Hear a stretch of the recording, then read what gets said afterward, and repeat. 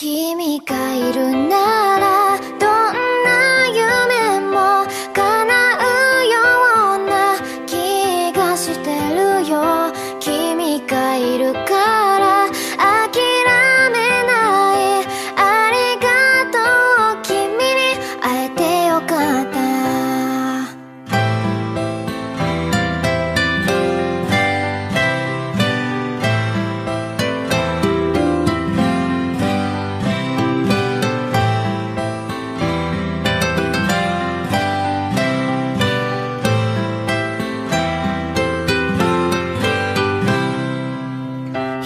ぼっちロンリー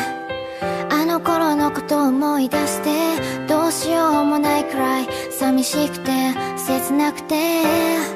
当たり前の日常がただ淡々と流れていた。Fly, fly どこか遠くそんなことばかり考えてた。そして